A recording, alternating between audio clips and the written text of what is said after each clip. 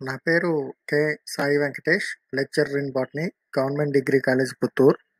నేను ఈ వీడియోలో అబ్సైసిక్ ఆమ్లం ఏబిఏ గురించి చర్చించబోతున్నాను. ఎబ్సైసిక్ ఆమ్లం అనేటటువంటిది మొక్కల్లో ఉండేటటువంటి ఒక రకమైన వృద్ధి ని నిరోధకం కింద చెప్పచ్చు అంటే మనం 1934 ఈ ప్రాంతంలోనే మొక్కలలో వృద్ధి కారకాలతో పాటు వృద్ధిని అదుపు చేసేటటువంటి కొన్ని రకాలైనటువంటి పదార్థాలు ముఖ్యంగా ఈ వృద్ధి నిరోధకాలుగా పిలువబడేటటువంటి వృద్ధి నియంత్రకాలని శాస్త్రవేత్తలు కనుక్కోవడం జరిగింది. వీటిలో ప్రధానమైనదిగా మనం అబ్సైసిక్ ఆమ్లాన్ని చెప్పచ్చు ఈ అబ్సైసిక్ ఆమ్లం యొక్క ఆవిష్కరణ ప్రస్థానాన్ని కానీ మనం గమనించినట్లయితే అడికాట్ మరియు అతని సహచరులు సుమారు 1963 ప్రాంతంలో లేత పత్తికాయల నుండి వేరు చేసినటువంటి ఒక పదార్థాన్ని వాళ్ళు వేరు చేయడం జరిగింది. ఆ పదార్థానికి పదార్థాలకి ఎబ్సైసిన్ వన్ మరియు ఎబ్సైసిన్ టూ అని పేర్లు పెట్టారు. విరింగ్స్ మరియు ఎగిల్స్ అనే శాస్త్రవేత్తలు బిర్చాకుల నుండి వేరు చేసిన పదార్థానికి డార్మిన్ అనే పేరు పెట్టారు. అలానే ఎబ్సైసిక్ ఆమ్లంను వివిధ ఆవృత బీజాలు, వివృత బీజాలు, ఫెర్న మొక్కలు అంటే టెరిడోఫైటాకి చెందిన టెరాప్సిడాకి చెందినటువంటి ఫెర్న మొక్కలు కానీ అలానే మాస్ మొక్కలు, బ్రయాప్సిడా మొక్కలు, బ్రయోఫైట్లు రకానికి చెందినవి కానీ ఇలాంటి వాటి నుంచి కూడా ఈ అబ్సైసిక్ ఆమ్లాన్ని వేరు చేయడం జరిగింది. అయితే ఎక్కువగా ఇది ఆవృత బీజాల్లో ఉండేటటువంటి ఫలాల్లో ఎక్కువ గాఢతలో ఇవి ఉన్నట్టుగా శాస్త్రవేత్తలు గమనించడం జరిగింది. దీని యొక్క రసాయన నిర్మాణాన్ని కానీ గమనించినట్లయితే అబ్సైసిక్ ఆమ్లం సెస్ట్వి టెర్పినాయిడ్ నిర్మాణంలో ఉంటుంది. దీంట్లో మూడు ఐసోప్రిన్ ప్రమాణాలు ఉంటాయి ఇది దీనికి ఉండేటటువంటి ప్రత్యేకమైన నిర్మాణం వలన ధ్రువణ సాదృశ్యాన్ని చూపుతూ ఉంటుంది. దీని యొక్క నిర్మాణాన్ని మనం ఇక్కడ గమనించినట్లయితే ఇది అబ్సైసిక్ ఆమ్లం యొక్క రసాయన నిర్మాణ రసాయన నిర్మాణాన్ని చూపించేటటువంటి చిత్రపటం.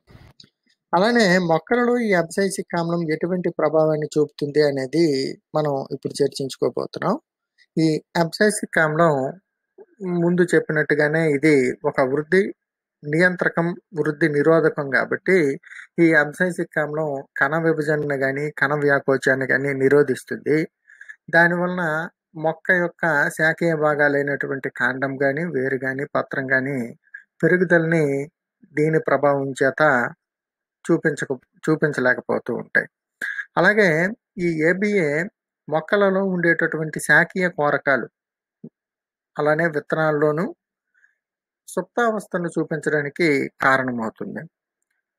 సైకమోర్ బఠానీ మొక్కల్లో ఈ అగ్ర కోరకాల పైన ఏబిఏను కానీ మనం ప్రయోగిస్తే దీని యొక్క అగ్రాధిక్యత తగ్గి ఈ పార్శ్వ కోరకాలు అనేటటువంటివి వృద్ధి చెందడం జరుగుతుంది.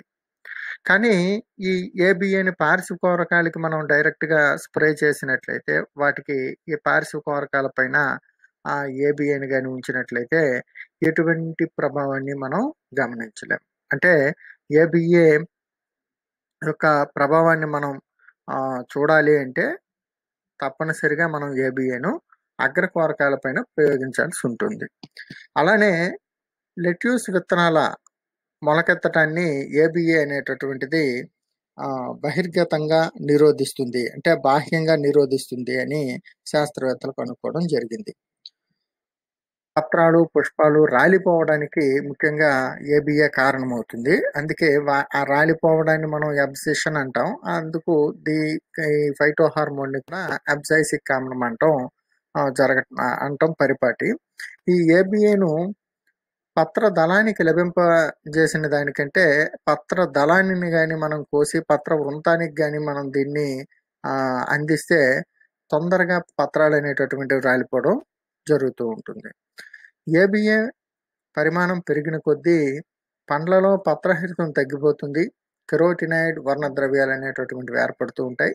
అందువలన పండు మొదటగా పసుపు రంగులోనికి, తర్వాత ఎరుపు రంగులోనికి మారుతూ ఉంటుంది. అంటే ఈ కెరోటినాయిడ్ వర్ణద్రవ్యాల యొక్క సంశ్లేషణకి ఏబిఏ పాత్ర ఉంది అని మనం దీని ద్వారా విశదపరచుకోవచ్చు.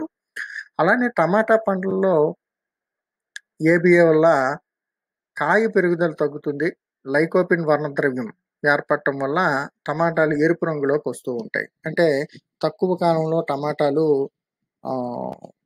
ఫలన దశకు వచ్చేటటువంటి అవకాశం ఉంటుంది. దీర్ఘదీప్తికాల మొక్కలపైన కూడా ఏబిఏ ప్రభావాన్ని చూపిస్తుంది. ఈ దీర్ఘదీప్తికాల మొక్కలు పగటి కాలాలు ఎక్కువగా ఉండేటప్పుడు ఆ, పుష్పిస్తూ ఉంటాయి. ఈ రకం మొక్కలు పగటి కాల ప్రమాణం తక్కువగా ఉన్నప్పుడు పుష్పించకపోవటానికి కారణం ఈ అబ్సైసిక్ అమ్లమని మనం చెప్పచ్చు. మొక్కలలో నీటి శోషణ తగ్గినప్పుడు అంటే ఎప్పుడైతే నీటి ఎద్దడి పరిస్థితులు ఈ డ్రాట్ కండిషన్స్ వస్తాయో అప్పుడు ఏబిఏ ఆమ్లం అధికంగా ఉత్పత్తి అవుతుంది. పత్తరంధ్రాలు మూసుకునే విధంగా చేస్తూ ఉంటుంది. ఆ రకంగా బాష్పోత్శాకాన్ని బాగా తగ్గిస్తుంది. ఇది ఈ ఏబిఏ బాష్పోత్శాక నిరోధకంగా కూడా ఆ రకంగా పనిచేస్తూ ఉంటుంది. ఇక్కడ చూసినట్లయితే మనకు కనిపిస్తుండేటటువంటిది ఆ, పత్ర రంధ్ర సంక్లిష్టము. ఈ పత్రరంధ్ర సంక్లిష్టంలో పత్రరంధ్రాలు ఆ దాని చుట్టూ ఉండేటటువంటి రక్షక కణాలు ఉంటాయి. ఆ రక్షక కణాల చుట్టూ అనుబంధ కణాలు ఉంటాయి. ఈ రక్షక కణాలు తెరుచుకునేటటువంటి ఈ స్థితిని మనం ఏమంటామంటే స్పేత స్థితి అంటాం. అదే రక్షక కణాలు మూసుకునేటటువంటి ఈ స్థితిని ఏమంటామంటే మనం శ్లేత స్థితి అంటాం. ఈ స్పేత స్థితి నుంచి శ్లేత స్థితికి రావడానికి రకరకాల కారకాలు కావ అవసరం అవుతూ ఉంటుంది. దాని ఈ పత్రరంధ్రాల యొక్క చలన యాంత్రికాన్ని ఏబిఏ కూడా తనదైన పాత్ర పోషించి ఈ ఆ, పత్రరంధ్రాలు తెరుచుకునే వాటిని మూసుకునే విధంగా చేస్తుంది. ఈ రకంగా మొక్క ఆ, నీటిని కోల్పోయేటటువంటి పరిస్థితిని తగ్గిస్తుంది అన్నమాట ఏబిఏ ఇక్కడ చూస్తే మనకి రకరకాల ఏబిఏ చూపించేటటువంటి రకరకాల ఆ, మొక్కలలో చూపించేటటువంటి రకరకాల శరీర ధర్మక్రియలు మనం చూడవచ్చు వ్యవసాయ రంగంలో ఏబిఏ పాత్ర ఏ రకంగా ఉంది అని చూస్తే నిజానికి చెప్పాలంటే ఏబిఏ పాత్ర చాలా పరిమితంగా ఉంటుందని చెప్పాలి. ఏబిఏని ప్రధానంగా బాష్పోత్సేక క్రియని నిరోధకంగా వినియోగిస్తూ ఉంటారు. బంగాళదుంపను ఎక్కువ కాలం నిర్వహ చేయడానికి ఏబిఏను పంట కోతకు ముందే పిచికారీ చేసి దాని వలన ఈ దుంపలు మొలకెత్తకుండా ఆ, చేస్తూ ఉంటారనమాట స్టోరేజ్ కెపాసిటీ పెరుగుతూ ఉంటుంది. దానివల్ల నిల్వ చేసేటటువంటి సామర్థ్యం మనం బంగాళదుంపల్లో ఎక్కువగా చేయొచ్చు. ఏబిఐని మనం స్ప్రే చేసి. Thank you thank you to